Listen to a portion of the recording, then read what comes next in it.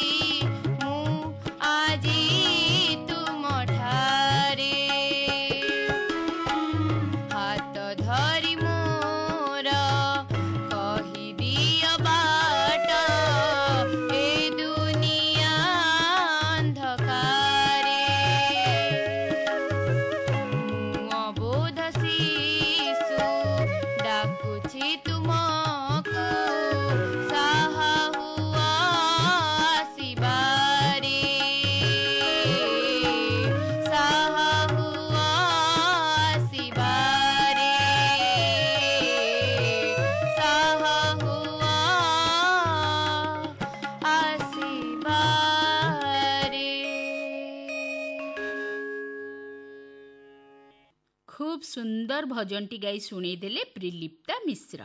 ପିଲାଏ ଆମର ଏଇ ଉତ୍କଳ ମାଟିରେ ଅନେକ ମହାପୁରୁଷ ଜନ୍ମଲାଭ କରିଛନ୍ତି। ଯେଉଁମାନେ ତାଙ୍କର କର୍ମ ଯୋଗୁଁ ଆଉ ଦେଶ ସେବା ଯୋଗୁଁ ଅମର ହୋଇ ରହିଛନ୍ତି। ସେହିଭଳି ଜଣେ ଅବିସ୍ମରଣୀୟ ବ୍ୟକ୍ତିତ୍ୱ ହେଲେ ଦୀନ ଦରିଦ୍ରର ବନ୍ଧୁ ଗୋପବନ୍ଧୁ। ଓଡ଼ିଶା ଜାତୀୟ ଆନ୍ଦୋଳନର ସେଥିରେ ସ୍ରଷ୍ଟା। ମହାତ୍ମା ଗାନ୍ଧୀଙ୍କ ଅସହଯୋଗ ଆନ୍ଦୋଳନରେ ସେ ଅନୁପ୍ରାଣିତ ହୋଇଥିଲେ। ଶିକ୍ଷା ଆଉ ସମାଜସେବାର ପ୍ରସାର ପାଇଁ ସେ ସବୁବେଳେ ଚେଷ୍ଟା କରୁଥିଲେ। ତେଣୁ ତାଙ୍କୁ ଉତ୍କଳମଣିର ଆଖ୍ୟା ଦିଆଯାଇଥିଲା। ଉତ୍କଳର ନବଯୁଗର ଜନକ ଥିଲେ ଉତ୍କଳମଣି ଗୋପବନ୍ଧୁ ଦାସ। ଚାଲ ପିଲେ ଆଜି ତାଙ୍କରି ବିଷୟରେ ଅଧିକ କିଛି ଜାଣିବା କହୁଛନ୍ତି ବିପିନ ବିହାରୀ ଶତପଥୀ। ମିଶୁ ମୋର ଦେହ ଏ ଦେଶ ମାଟିରେ ଦେଶବାସୀ ଚାଲି ଯାଆନ୍ତୁ ପିଠିରେ। ଦେଶର ସ୍ୱରାଜ୍ୟ ପଥେ ଯେତେ ଗାଡ଼ ପୁରୁ ତହିଁ ପଡ଼ି ମୋର ମାଂସ ହାଡ଼। ପିଲାମାନେ ଜାଣିଛ ନା ଏହି ମର୍ମସ୍ପର୍ଶୀ ଅଭିବ୍ୟକ୍ତି ଝରି ଆସିଥିଲା ଉତ୍କଳ ମାତାର ଯୋଗ୍ୟତମ ସୁତ ଓଡ଼ିଆ ଜାତିର ଭାଗ୍ୟ ନିର୍ଣ୍ଣାୟକ ତଥା ବହୁମୁଖୀ ପ୍ରତିଭାର ଅଧିକାରୀ ଉତ୍କଳମଣି ଗୋପବନ୍ଧୁ ଦାସଙ୍କ ଦରଦୀ କଣ୍ଠରୁ। ଦେଶ ଜାତି ଓ ସମାଜର କଲ୍ୟାଣ କାମନାରେ ତାଙ୍କ ସାମଗ୍ରିକ ଜୀବନ ଥିଲା ଉତ୍ସର୍ଗୀକୃତ।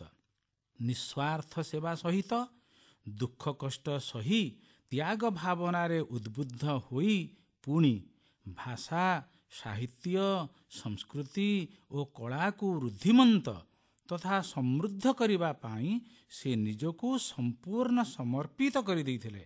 ପୁଣି ଜାଣ ନା ସଳିତା ଭଳି ନିଜେ ଜଳି ଜଳି ଅନ୍ୟକୁ ଉଦ୍ଭାସିତ କରିବା ଥିଲା ତାଙ୍କର ଧର୍ମ ଓ କର୍ମ।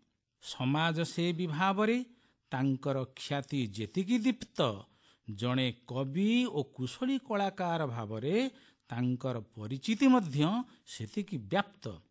ତାଙ୍କ ଲେଖାରେ ତାଙ୍କ କବିତାରେ ବାସ୍ତବତା ଓ ଜାତୀୟତାର ଯେଉଁ ଅଫୁରନ୍ତ ଆଲେଖ୍ୟ ରହିଛି ଏବଂ ଯେଉଁ ମାର୍ମିକ ମାନବିକତାର ସନ୍ଦେଶ ରହିଛି ତାହା ତାଙ୍କର ମହାମାନ୍ୟତା ତଥା ମହାନୁଭବତାର ପ୍ରକୃଷ୍ଟ ପ୍ରମାଣ। ତାଙ୍କ ରଚିତ ବନ୍ଦୀର ଆତ୍ମକଥା କାରା କବିତା ଧର୍ମପଦ ଓ ଗୋମାହାତ୍ମ୍ୟ ପ୍ରଭୃତି କାବ୍ୟଗୁଚ୍ଛ ମାନବିକ ମୂଲ୍ୟବୋଧର ଜ୍ୱଳନ୍ତ ନିଦର୍ଶନ। ତୁମେ ଜାଣ ନା ଏହି କର୍ମଯୋଗୀ ଉତ୍କଳମଣି ଜନ୍ମଗ୍ରହଣ କରିଥିଲେ ଅଠରଶହ ସତସ୍ତରୀ ମସିହା ଅକ୍ଟୋବର ନଅ ତାରିଖରେ ପୁରୀ ଜିଲ୍ଲାର ସୁଆଣ୍ଡୋ ଗ୍ରାମରେ ଆଧୁନିକ ସଭ୍ୟତା ଆଲୋକର ବହୁ ଦୂରରେ ଅବସ୍ଥିତ ସେହି ପଲ୍ଲୀ ପରିବେଶରେ ତାଙ୍କ ଜୀବନାୟନ ବିକଶିତ ହୋଇଥିଲା।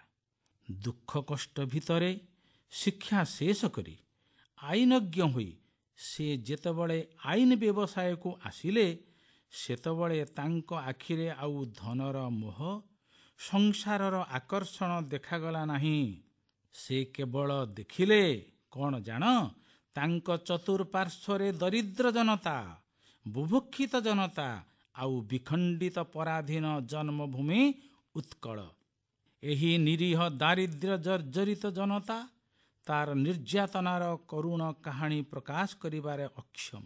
ଅନ୍ୟାୟ ଓ ଅତ୍ୟାଚାରକୁ ମଥାପାତି ସହି ନେବାକୁ ବାଧ୍ୟ। ଆଉ ଅଶିକ୍ଷା କବଳରେ ସେ ଆବଦ୍ଧ। ଏଣୁ ଯୌବନର ପ୍ରଥମ ପର୍ଯ୍ୟାୟରେ ଶରୀରର ସମସ୍ତ ଶକ୍ତି ମନର ସମସ୍ତ ବଳ ଆଉ ହୃଦୟର ସମସ୍ତ ଉଚ୍ଛ୍ୱାସ ନେଇ ଏହି କର୍ମବୀର ଗୋପବନ୍ଧୁ ଝାସ ଦେଲେ କର୍ମର ଉଦ୍ବେଳିତ ସାଗର ବକ୍ଷରେ। କର୍ମମୟ ଜୀବନର ଉନ୍ମୁକ୍ତ ପ୍ରାଙ୍ଗଣରେ ଜୀବନର ସମସ୍ତ ଭୋଗ ଲାଳସାକୁ ପରିତ୍ୟାଗ କରି ଉତ୍କଳ ଜନନୀର ଦୁଃଖ ଦୁର୍ଦ୍ଦଶାକୁ ଦୂରୀଭୂତ କରିବାକୁ ଆପ୍ରାଣ ପ୍ରଚେଷ୍ଟା କଲେ ତାଙ୍କ ମତରେ ମାନବ ଜୀବନ ନୁହେଁ କେବଳ ବର୍ଷ ମାସ ଦିନ ଦଣ୍ଡ କର୍ମେ ଯିଏ ନର କର୍ମ ଏକା ତାର ଜୀବନର ମାନଦଣ୍ଡ କର୍ମରେ ନିରଭିମାନତା ଓ ସ୍ୱଭାବରେ ନମ୍ରତା ଥିଲା ତାଙ୍କ ଚରିତ୍ରର ବିଶେଷତ୍ୱ। ବୁଝିଲ ନା ପିଲାମାନେ? କୌଣସି କ୍ଷୁଦ୍ର ସ୍ୱାର୍ଥର କାମନା ମନରେ ପୋଷଣ ନ କରି ସେ ନିଜର ସାଧନା ବଳରେ ନିଜକୁ ନିୟୋଜିତ କରୁଥିଲେ। ସେ ଥିଲେ ଜାତୀୟ କର୍ମୀ ଓ ଜାତୀୟ ନେତା। ଜାତୀୟ ସଂଗ୍ରାମ କ୍ଷେତ୍ରରେ ତାଙ୍କର ତ୍ୟାଗ ତଥା କର୍ମ ଥିଲା ଉଚ୍ଚ କୋଟିର। ତାଙ୍କ ମତରେ ସ୍ୱାର୍ଥକୁ ଆପଣାଇଥିବା ବ୍ୟକ୍ତିବିଶେଷଙ୍କ ଦ୍ୱାରା ଦେଶ ସେବା କଦାପି ସମ୍ଭବପର ନୁହେଁ। ଏହି ପ୍ରସଙ୍ଗରେ ଏକ ଭାବଗର୍ଭକ ଅମରବାଣୀ ମୋର ମନେ ପଡ଼େ। ଜାତିର ଉନ୍ନତି ସେ କାହୁଁ କରିବ। ସ୍ୱାର୍ଥେ ଯାର ବ୍ୟସ୍ତ ମନ ଶାଗୁଣା ବିଲୁଆ ଚିକିତ୍ସକ ହେଲେ ସବକି ପାଇବ ପ୍ରାଣ?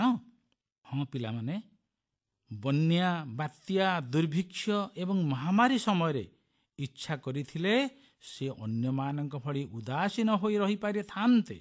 କିନ୍ତୁ ସେ ନିଜ ଇଚ୍ଛାରେ ବରଣ କରିନେଲେ ଚରମ ଦୁଃଖ କଷ୍ଟକୁ। ତଥା ଆର୍ତ୍ତଜନଙ୍କ ସେବା ଯତ୍ନକୁ। ଏପରିକି ଘରେ ପୀଡ଼ିତ ପୁତ୍ର ପାଖରେ ଅଟକି ନ ଯାଇ ସେ ଧାଇଁ ଯାଇଥିଲେ ଶତାଧିକ ପୁଅ ଝିଅଙ୍କ ନିକଟକୁ। କାରଣ ଗୋପବନ୍ଧୁଙ୍କ ଦର୍ଶନ ଆତ୍ମକୈନ୍ଦ୍ରିକ ନଥିଲା। ପ୍ରତ୍ୟେକ ମନୁଷ୍ୟ ତଥା ସମାଜ ମଧ୍ୟରେ ନିଜର ଆତ୍ମାକୁ ମିଶାଇ ଦେଇ ନିଜକୁ ପରିପ୍ରକାଶ କରିବା ଥିଲା ତାଙ୍କ ଜୀବନର ବୈଶିଷ୍ଟ୍ୟ। ବିଶ୍ୱାତ୍ମା ଓ ନିଜ ଆତ୍ମାର ସମାବସ୍ଥିତି ଥିଲା ତାଙ୍କ ଜୀବନର ମୂଳମନ୍ତ୍ର। ତେଣୁ ସେ ଆବେଗରେ ଗାଇଥିଲେ କ'ଣ ଜାଣ? ନିଜ ସୁଖ ଲାଗି ଜାତ ନୁହେଁ ହିନ୍ଦୁ। ବିଶ୍ୱ ହିତେ ହିନ୍ଦୁ ପ୍ରତିରକ୍ତ ବିନ୍ଦୁ। ସର୍ବେ ଆମ୍ଭେ ଏକ ଈଶ୍ୱର ସନ୍ତାନ। ସାଧ ବିଶ୍ୱହିତ ତେଜି ଅଭିମାନ। ଏହା କେବଳ ତାଙ୍କର ସାମୟିକ ଆବେଗର ଅଭିବ୍ୟକ୍ତି ନଥିଲା। ଏହା ହିଁ ଥିଲା ତାଙ୍କ ଜୀବନ ଦର୍ଶନ ଗୋପବନ୍ଧୁଙ୍କ ଜାତୀୟତାର ଅନ୍ୟ ଏକ ଅସାଧାରଣ ବୈଶିଷ୍ଟ୍ୟ ଥିଲା ସେ ବୁଝିଥିଲେ ଯେ ଜାତୀୟତା ହିଁ ଧର୍ମ ଓ ଧର୍ମ ହିଁ ଜାତୀୟତା ତେଣୁ ତାହା ଆର୍ଯ୍ୟ ସଂସ୍କୃତି ଓ ସନାତନ ଧର୍ମ ଉପରେ ପ୍ରତିଷ୍ଠିତ ଥିଲା ଏବଂ ଏହା ଅହଙ୍କୈନ୍ଦ୍ରିକ ନ ହୋଇ ଥିଲା ଈଶ୍ୱର କୈନ୍ଦ୍ରିକ ସେ ନିଜର ଜାତୀୟତାକୁ ଈଶ୍ୱରାଭିମୁଖୀ କରିପାରିଥିଲେ। ତେଣୁ ସେ କହିଥିଲେ କ'ଣ ଜାଣ ଦେଶବାସୀଙ୍କର ହେଲେ ଆତ୍ମଶୁଦ୍ଧି ସତ୍ୟ ଅନୁରାଗ ଧର୍ମେ ଦିବ୍ୟ ବୁଦ୍ଧି ମେଣ୍ଟିବ ଦୁର୍ଗତି ଦୁଃଖ ଯିବ କ୍ଷୟ ଆସିବ ସୁଦିନ ହେବ ସୁଖୋଦୟ। ବାସ୍ତବିକ ତାଙ୍କର ଏହି ଧର୍ମ ପ୍ରାଣତାରେ ରକ୍ଷଣଶୀଳତା ନଥିଲା ପରନ୍ତୁ ଥିଲା ମାନବିକତା। ବିଶ୍ୱବ୍ୟାପକତା ଓ ପ୍ରଗତିଶୀଳତା। ପୁଣି ହିନ୍ଦୁ ଗର୍ଭରୁ ଜନ୍ମଗ୍ରହଣ କରି ମଧ୍ୟ ସେ ପୃଥିବୀର ସମସ୍ତ ଧର୍ମ ପ୍ରତି ସମାନ ଶ୍ରଦ୍ଧା ଓ ଭକ୍ତି ପ୍ରଦର୍ଶନ କରୁଥିଲେ। ବଜ୍ର ଗମ୍ଭୀର ସ୍ୱରରେ ସେ କହୁଥିଲେ କ'ଣ ଜାଣ? ହିନ୍ଦୁ ମୁସଲମାନ ବୌଦ୍ଧ ଖ୍ରୀଷ୍ଟିଆନ ଶିଖ ଜୈନ ଯେତେ ଭାରତ ସନ୍ତାନ ସର୍ବେ ଆମ୍ଭେ ଏକ ଈଶ୍ୱର ସନ୍ତାନ ସାଧ ବିଶ୍ୱହିତ ତେଜି ଅପମାନ। ବାସ୍ତବିକ ଗୋପବନ୍ଧୁ ଗର୍ବ ଅଭିମାନ ଅହଙ୍କାର ଓ ବଡ଼ିମାର ବହୁ ଊର୍ଦ୍ଧ୍ୱରେ ଥିଲେ। ନିରଳସ ନିରାଡ଼ମ୍ବର ଜୀବନର ମୋହନୀୟତାକୁ ପରିପୁଷ୍ଟ କରିଥିଲା ତାଙ୍କର ନମ୍ରତା ଓ ଉଦାରତା। ପିଲାମାନେ ଏହିଭଳି ବିଭିନ୍ନ ଦୃଷ୍ଟିକୋଣରୁ ବିଚାର କଲେ ଜଣାଯାଏ ଯେ ଗୋପବନ୍ଧୁଙ୍କ ବ୍ୟକ୍ତିତ୍ୱ ଥିଲା ଏକ ଅପୂର୍ବ ଓ ଅନୁପମ ବ୍ୟକ୍ତିତ୍ୱ। ତାଙ୍କର ସମସ୍ତ ସାଧନାରେ ଭରି ରହିଥିଲା ଆନ୍ତରିକତା ନୈଷ୍ଠିକତା ନୈସର୍ଗିକତା ଏବଂ ପୂର୍ଣ୍ଣ ପ୍ରାଣତା ତ୍ୟାଗରେ ଭୋଗ ଏହା ହିଁ ଥିଲା ତାଙ୍କର ଚରମ ଆଦର୍ଶ। ତାଙ୍କର ମାନବ ପ୍ରୀତି କୌଣସି ପ୍ରଦେଶ ବା ଦେଶର ସୀମା ମଧ୍ୟରେ ଆବଦ୍ଧ ନଥିଲା। ତାହା ଥିଲା ବିଶ୍ୱ ପରିବ୍ୟାପ୍ତ। ତାଙ୍କର ସେହି ଶାଶ୍ୱତ ଉକ୍ତିଟି ଏବେ ମଧ୍ୟ ମନେ ପଡ଼ୁଛି। କ'ଣ ଜାଣ? କା ପୁରୁଷ ପରି ମରିବା ଜଗତେ ନୁହେଁ ନର ପୌରୁଷ। ପରହିତ ସାଧି ମରେ ଯେ ମହିରେ ସେହି ଏକା ସୁପୁରୁଷ। ଏଥର ପିଲେ ପ୍ରିଲିପ୍ତା ମିଶ୍ର ଆମକୁ ଆଉ ଗୋଟେ ଗୀତ ଗାଇକି ଶୁଣେଇବେ। କ'ଣ ଗାଇବେ କାହା ଲେଖାରୁ ଗାଇବେ ସେ ବିଷୟରେ ସେ ନିଜେ କହିବେ। ଚାଲ ଶୁଣିବା। ମୁଁ ଏବେ ଶିଶୁ ସଙ୍ଗୀତଟିଏ ଗାଇ ଶୁଣେଇବି। ଯାହାକୁ ଲେଖିଛନ୍ତି କ୍ଷୀରୋଦ ଚନ୍ଦ୍ର ପୋଥାଳ।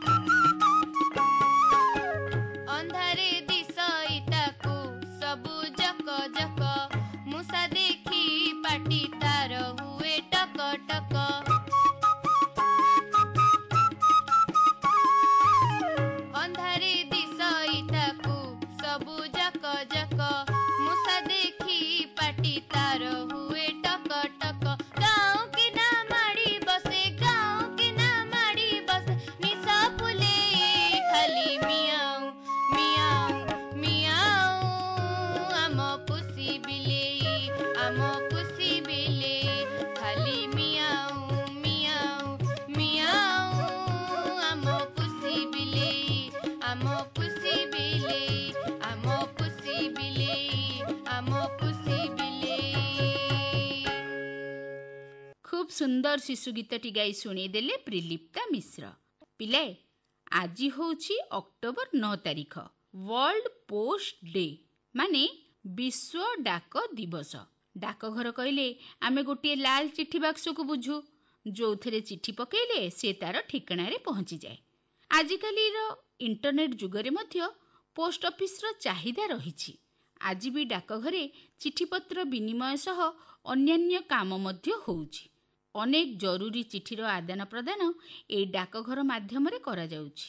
ଏହି ବିଶ୍ୱ ଡାକଘର ଦିବସ ସମ୍ପର୍କରେ ଚାଲ ଜାଣିବା ତମାନଙ୍କୁ କହିଛନ୍ତି ସ୍ମିତା ମହାପାତ୍ର ଯିଏକି ଜଣେ ସହାୟକ ଡାକ ଅଧୀକ୍ଷକ। ଚାଲ ଶୁଣିବା। ପିଲାମାନେ ତୁମେ ଯେତେବେଳେ ଡାକଘର ବିଷୟରେ ଶୁଣ କିମ୍ବା ବାଟରେ ଗଲାବେଳେ ଡାକଘରଟିଏ ତୁମ ନଜରରେ ପଡ଼େ ସେତେବେଳେ ତୁମ ମନରେ କ'ଣ ଆସେ? ମନରେ ଭାବନା ଆସୁଥିବ ଯେ ଡାକଘର କାର୍ଯ୍ୟକଳାପ ଚିଠିପତ୍ର ପଠାଇବା ମଧ୍ୟରେ ସୀମିତ। ହେଲେ ଆଜିକାଲିକା ଇଣ୍ଟରନେଟ୍ ଯୁଗରେ ଚିଠିପତ୍ରର ଚାହିଦା ଟିକେ କମିଯାଉଥିବା ପରି ମନେ ହେଉଛି। ମାତ୍ର ମୁଁ ଏଠି କହି ରଖିବାକୁ ଚାହେଁ ଯେ ଡାକ ବିଭାଗର କାମ କେବଳ ଚିଠିପତ୍ର ପଠାଇବାରେ ସୀମିତ ନୁହେଁ। ବାର୍ତ୍ତା ଯୋଗାଇବା ସହିତ ଡାକ ବିଭାଗ ପାର୍ସଲ ସେବା ମନି ଅର୍ଡର ଜୀବନ ବୀମା ଯେପରିକି ଡାକ ଜୀବନ ବୀମା ଗ୍ରାମୀଣ ଡାକ ଜୀବନ ବୀମା ଆଧାର ପଞ୍ଜୀକରଣ ଆଧାର ସଂଶୋଧନ ଓ ପାଞ୍ଚ ବର୍ଷ ପର୍ଯ୍ୟନ୍ତ ଶିଶୁମାନଙ୍କ ପାଇଁ ଆଧାର ପଞ୍ଜୀକରଣ ଇଲେକ୍ଟ୍ରି ବିଲ୍ ଓ ଟେଲିଫୋନ୍ ବିଲ୍ ପୈଠ ପାସପୋର୍ଟ ସେବା ବ୍ୟାଙ୍କିଂ ସେବା ଓ ଇଣ୍ଡିଆ ପୋଷ୍ଟ ପେମେଣ୍ଟ ବ୍ୟାଙ୍କ ମାଧ୍ୟମରେ ବ୍ୟାଙ୍କିଂ ସେବା ଯୋଗାଇ ଦେଉଛି। ଡାକ ବିଭାଗ ମଧ୍ୟ ବିଭିନ୍ନ ଜନସୁରକ୍ଷା ଯୋଜନା ଯେମିତିକି ପ୍ରଧାନମନ୍ତ୍ରୀ ସୁରକ୍ଷା ବୀମା ଯୋଜନା ପ୍ରଧାନମନ୍ତ୍ରୀ ଜୀବନ ଜ୍ୟୋତି ବୀମା ଯୋଜନା ଅଟଳ ପେନ୍ସନ୍ ଯୋଜନା ଗୁଡ଼ିକ ଯୋଗାଇ ଦେଉଛି। ପ୍ରଧାନମନ୍ତ୍ରୀ ଫସଲ ବୀମା ଯୋଜନାର ସୁବିଧା ମଧ୍ୟ ଚାଷୀ ଭାଇମାନଙ୍କୁ ଡାକ ବିଭାଗ ଦ୍ୱାରା ଯୋଗାଇ ଦିଆଯାଉଛି। ଭାରତ ସରକାରଙ୍କ ମହାତ୍ମା ଗାନ୍ଧୀ ଗ୍ରାମୀଣ ନିଯୁକ୍ତି ଗ୍ୟାରେଣ୍ଟି ଯୋଜନାରେ ମଜୁରୀ ବଣ୍ଟନ ଓ ବୃଦ୍ଧାବସ୍ଥା ପେନ୍ସନ୍ ଦେୟ ମଧ୍ୟ ଡାକ ବିଭାଗ ଜରିଆରେ କରାଯାଉଛି। ଡାକ ବିଭାଗ ବର୍ତ୍ତମାନ ଘରେ ଘରେ ଡାକ ସେବା ଯୋଗାଇ ଦେଉଛି। ଡାକ ସେବାର ମାନ୍ୟତା ବୃଦ୍ଧି ସହିତ ଡାକ ବିଭାଗର ଆଧୁନିକୀକରଣ ହେଇଛି। କୋଭିଡ ମହାମାରୀ ସମୟରେ ମଧ୍ୟ ଡାକ କର୍ମଚାରୀମାନେ ଡାକ ସେବା ନିରନ୍ତର ଯୋଗାଇ ଦେବା ସହିତ ଜନସାଧାରଣଙ୍କୁ ଘରେ ଘରେ ମାସ୍କ ସାନିଟାଇଜର ଓ ଔଷଧପତ୍ର ଯୋଗାଇ ଦେଇଥିଲେ। ତୁମେମାନେ ଜାଣିଛ ଡାକ ବିଭାଗ ଏକ ବୃହତ୍ ସଂସ୍ଥା। ବ୍ରିଟିଶମାନେ ଭାରତରେ ଡାକ ସେବା ଆରମ୍ଭ କରିଥିଲେ। ଅଠରଶହ ଚଉବନ ମସିହାରେ ଲର୍ଡ ଡେଲହାଉସିଙ୍କ ଦ୍ୱାରା ଏହି ଡାକ ସେବା ପ୍ରଚଳିତ ହେଇଥିଲା। ଏକତିରିଶ ମାର୍ଚ୍ଚ ଦୁଇ ହଜାର କୋଡ଼ିଏ ସୁଦ୍ଧା ଭାରତରେ ଲକ୍ଷେ ଛପନ ହଜାର ସାତଶହ ଏକୋଇଶଟି ଡାକଘର ସହିତ ବର୍ତ୍ତମାନ ଭାରତୀୟ ଡାକ ହେଉଛି ବିଶ୍ୱର ସର୍ବବୃହତ୍ ଡାକ ନେଟୱାର୍କ। ଯେଉଁଥିରେ ଲକ୍ଷେ ଏକଚାଳିଶ ହଜାର ଅଠରଟି ଡାକଘର ଗ୍ରାମାଞ୍ଚଳରେ ରହିଛି। ସ୍ୱାଧୀନତା ସମୟରେ ଭାରତରେ ମାତ୍ର ତେଇଶ ହଜାର ତିନିଶହ ଚଉରାଳିଶ ଡାକଘର ଥିଲା ଯାହା ମୁଖ୍ୟତଃ ସହରାଞ୍ଚଳରେ ଅବସ୍ଥାପିତ ଥିଲା। ଏହିପରି ସ୍ୱାଧୀନତା ପରଠାରୁ ଭାରତୀୟ ନେଟୱାର୍କ ସାତଗୁଣ ଅଭିବୃଦ୍ଧି ପଞ୍ଜୀକୃତ କରିଛି ଯାହା ପୁଣି ମୁଖ୍ୟତଃ ଗ୍ରାମାଞ୍ଚଳରେ। ଜାଣିଛ ପିଲାମାନେ ଆଜି ଦିବସଟିର ବିଶେଷତ୍ୱ କ'ଣ ରହିଛି? ଆଜି ହେଉଛି ନଅ ଅକ୍ଟୋବର। ବିଶ୍ୱ ଡାକ ଦିବସ। ପ୍ରତିବର୍ଷ ଅକ୍ଟୋବର ମାସ ନଅ ତାରିଖରେ ବିଶ୍ୱ ଡାକ ଦିବସ ପାଳନ କରାଯାଏ। ଗୋଟେ କଥା ଜାଣିଲେ ତୁମେମାନେ ଆଶ୍ଚର୍ଯ୍ୟ ହେବ ଯେ ବିଶ୍ୱ ଡାକ ଦିବସ ପାଳନ ଭାରତ ସହିତ ଜଡ଼ିତ। ଉଣେଇଶହ ଅଣସ୍ତରୀ ମସିହାରେ ୟୁନିଭର୍ସାଲ ପୋଷ୍ଟାଲ ୟୁନିୟନର ସମ୍ମିଳନୀ ଜାପାନର ଟୋକିଓଠାରେ ଆୟୋଜିତ ହେଉଥିଲା। ସେହି ସମ୍ମିଳନୀରେ ଯୋଗ ଦେଇଥିବା ଭାରତୀୟ ପ୍ରତିନିଧି ଆନନ୍ଦ ମୋହନ ନରୁଲା ବିଶ୍ୱ ଡାକ ଦିବସ ପ୍ରତିଷ୍ଠା ପାଇଁ ପ୍ରସ୍ତାବ ଦେଇଥିଲେ। ସେହି ପ୍ରସ୍ତାବଟି ସର୍ବସମ୍ମତିରେ ଅନୁମୋଦିତ ହେବା ଫଳରେ ସେହି ବର୍ଷଠାରୁ ମାନେ ଉଣେଇଶହ ଅଣସ୍ତରୀ ମସିହା ଠାରୁ ଅକ୍ଟୋବର ନଅ ତାରିଖକୁ ବିଶ୍ୱ ଡାକ ଦିବସ ଭାବରେ ପାଳନ କରାଯାଉଛି। ଆଶା କରୁଛି ତୁମେମାନେ ଏବେ ବୁଝିପାରିଥିବ କୋଉଭଳି ଭାବେ ବିଶ୍ୱ ଡାକ ଦିବସର ଗଠନ ଭାରତ ସହିତ ଜଡ଼ିତ। ମାତ୍ର ଏଠି ତୁମମାନଙ୍କ ମନରେ ଗୋଟେ ପ୍ରଶ୍ନ ଆସୁଥିବ ଯେ ନଅ ଅକ୍ଟୋବରକୁ କାହିଁକି ଡାକ ଦିବସ ରୂପେ ବଛାଗଲା? ଏହାର କାରଣ ହେଲା ବର୍ତ୍ତମାନର ୟୁନିଭର୍ସାଲ ପୋଷ୍ଟାଲ ୟୁନିୟନର ସ୍ଥାପନ ଅଠରଶହ ଚଉସ୍ତରୀ ମସିହା ଅକ୍ଟୋବର ନଅ ତାରିଖରେ କରାଯାଇଥିଲା। ପୁଣି ମନରେ ଆଉ ଏକ ଦ୍ୱନ୍ଦ୍ୱ ଥିବ ଯେ ଏହି ୟୁନିଭର୍ସାଲ ପୋଷ୍ଟାଲ ୟୁନିୟନଟି ପୁଣି କ'ଣ? ତାହେଲେ ଆସ ଜାଣିନେବା ଏହି ୟୁନିଭର୍ସାଲ ପୋଷ୍ଟାଲ ୟୁନିୟନଟି କ'ଣ ଓ ଏହା କାହିଁକି ସ୍ୱତନ୍ତ୍ର? ଆମେ ଜାଣିଛେ ଯେ ଡାକ ସେବା ହିଁ ବାର୍ତ୍ତା ବିନିମୟକୁ ସହଜ କରିଆସୁଛି। ମାତ୍ର ଅନ୍ତର୍ଜାତୀୟ ସ୍ତରରେ ୟୁନିଭର୍ସାଲ ପୋଷ୍ଟାଲ ୟୁନିୟନର ସ୍ଥାପନା ହେବା ପୂର୍ବରୁ ଡାକ ବ୍ୟବସ୍ଥା ଖୁବ୍ ଜଟିଳ ଥିଲା। ୟୁନିଭର୍ସାଲ ପୋଷ୍ଟାଲ ୟୁନିୟନ ସ୍ଥାପିତ ହେବା ପୂର୍ବରୁ ପ୍ରତ୍ୟେକ ଦେଶ ଅନ୍ୟ କୌଣସି ଦେଶକୁ ବାର୍ତ୍ତା ବିନିମୟ କରିବାକୁ ହେଲେ ପ୍ରଥମେ ସେହି ଦେଶ ସହିତ ଏକ ଡାକ ଚୁକ୍ତିନାମା କରୁଥିଲେ। ଡାକ ଚୁକ୍ତିର ଅନୁପସ୍ଥିତିରେ ଏକ ମଧ୍ୟବର୍ତ୍ତୀ ଦେଶ ମାଧ୍ୟମରେ ବାର୍ତ୍ତା ପଠାଇବାକୁ ପଡ଼ୁଥିଲା। ଏହି ଜଟିଳ ସମସ୍ୟାକୁ ଏଡ଼ାଇବା ପାଇଁ ଓ ଡାକ ବ୍ୟବସ୍ଥାର ସରଳୀକରଣ ନିମନ୍ତେ ଅଠରଶହ ଚଉସ୍ତରୀ ମସିହାରେ ବର୍ନ ଚୁକ୍ତି ଦ୍ୱାରା ବର୍ତ୍ତମାନର ୟୁନିଭର୍ସାଲ ପୋଷ୍ଟାଲ ୟୁନିୟନର ସ୍ଥାପନା ହୋଇଥିଲା। ସେତେବେଳେ ଏହାର ନାମ ଥିଲା ଜେନେରାଲ ପୋଷ୍ଟାଲ ୟୁନିୟନ। ଅଠରଶହ ଅଠସ୍ତରୀ ମସିହାରେ ଦ୍ୱିତୀୟ ପୋଷ୍ଟାଲ ୟୁନିୟନ ସମ୍ମିଳନୀରେ ଜେନେରାଲ ପୋଷ୍ଟାଲ ୟୁନିୟନର ନାମ ପରିବର୍ତ୍ତନ କରାଯାଇ ୟୁନିଭର୍ସାଲ ପୋଷ୍ଟାଲ ୟୁନିୟନ ନାମରେ ନାମିତ କରାଗଲା। ୟୁନିଭର୍ସାଲ ପୋଷ୍ଟାଲ ୟୁନିୟନ ବିଶ୍ୱବ୍ୟାପୀ ଡାକ ବ୍ୟବସ୍ଥା ସହିତ ସଦସ୍ୟ ରାଷ୍ଟ୍ରମାନଙ୍କ ମଧ୍ୟରେ ଡାକନୀତିକୁ ସଂଯୋଜନା କରିଥାଏ ଡାକ ସେବାର ଦକ୍ଷତା ୟୁନିଭର୍ସାଲ ପୋଷ୍ଟାଲ ୟୁନିୟନର ସ୍ଥାପନା ଦ୍ୱାରା ବୃଦ୍ଧି ପାଇଛି ମିଳିତ ଜାତିସଂଘ ପ୍ରତିଷ୍ଠା ପରେ ଉଣେଇଶହ ଅଠଚାଳିଶ ମସିହାରେ ୟୁନିଭର୍ସାଲ ପୋଷ୍ଟାଲ ୟୁନିୟନ ଜାତିସଂଘର ଏକ ସ୍ୱତନ୍ତ୍ର ଏଜେନ୍ସି ହେଲା ବିଶ୍ୱ ଡାକ ଦିବସ ପାଳନ କରିବାର ଉଦ୍ଦେଶ୍ୟ ହେଉଛି ଜନସାଧାରଣଙ୍କ ଦୈନନ୍ଦିନ ଜୀବନରେ ତଥା ବ୍ୟବସାୟରେ ଡାକ ବିଭାଗର ଭୂମିକା ଓ ଦେଶର ସାମାଜିକ ତଥା ଅର୍ଥନୀତି ବିକାଶରେ ଏହାର ଅବଦାନ ବିଷୟରେ ସଚେତନତା ସୃଷ୍ଟି କରିବା। ପ୍ରତିବର୍ଷ ଶହେ ପଚାଶରୁ ଉର୍ଦ୍ଧ୍ୱ ଦେଶ ବିଭିନ୍ନ ଉପାୟରେ ବିଶ୍ୱ ଡାକ ଦିବସ ପାଳନ କରନ୍ତି। ପ୍ରତିବର୍ଷ ଡାକ ଦିବସ ପାଳନ ଏକ ନିର୍ଦ୍ଦିଷ୍ଟ ପ୍ରସଙ୍ଗ ବା ବିଷୟବସ୍ତୁ ଉପରେ ଆଧାରିତ ହୋଇଥାଏ। ଏହି ବର୍ଷ ଡାକ ଦିବସ ପାଳନ ପାଇଁ ବିଷୟବସ୍ତୁ ରହିଛି ପୋଷ୍ଟ ଫର୍ ପ୍ଲାନେଟ୍।